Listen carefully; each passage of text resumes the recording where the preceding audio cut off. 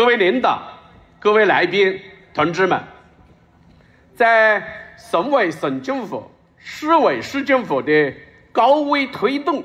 和关心支持下，娄底市重大的水利工程、重大的民生工程、重大的乡村建设工程，也是功在当代、利在千秋的吸引曲江水兴发人民啊梦想的呢梦想工程。眉山灌区工程啊，今天正式开工了。在这里，请让我代表兴发县委、县政府和一百五十二万眉山儿女，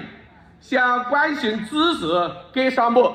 向长期以来关心支持兴发经济社会发展的各级领导和各界人士表示衷心的感谢。